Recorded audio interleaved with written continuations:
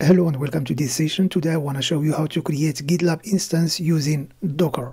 Fortunately, GitLab provide an official image that you can pull and run.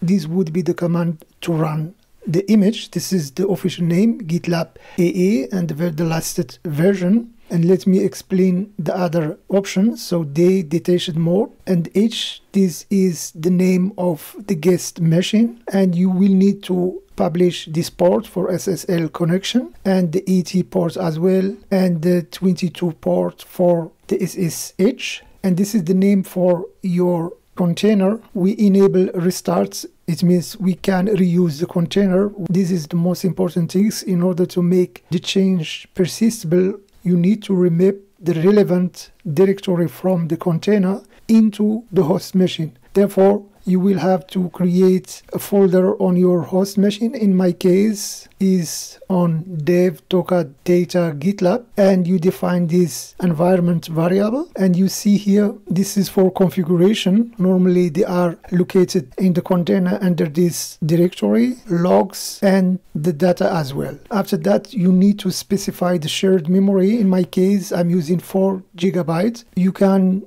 choose another size depending on your resources and this is the image name. So let's run this command. Let's create the directory and let's run the docker command. So I prepared the script.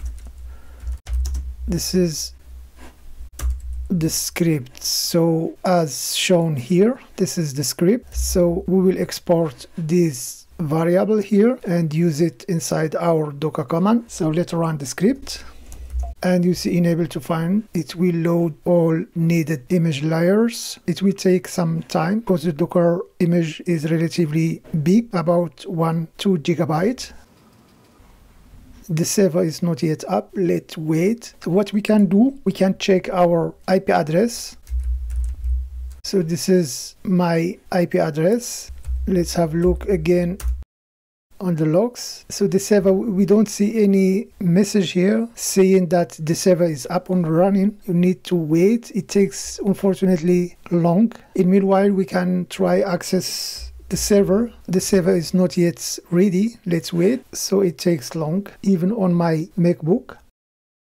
You should be really very patient because it takes long. It takes several minutes. Let's see try to access the server. Ah, not yet, it's too much time to respond. We have to wait. And now I'm able to see. So really it took very long. So you should be very patient. Yeah. Let's do a test. Let's try to access the UI using the browser. Ah, and you see the server is available and the user by default, you, you need to use the admin user or the root user and the password can be found under this location. Let me show you.